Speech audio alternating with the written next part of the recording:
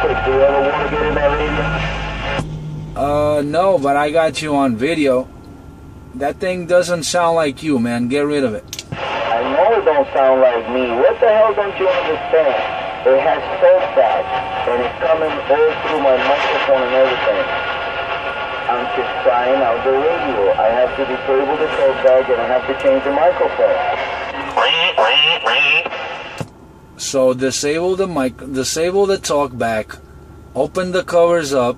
Maybe there's a small resistor in the back. Yank it out, and then change the mic. Don't sound bad. Just sounds a little muffed.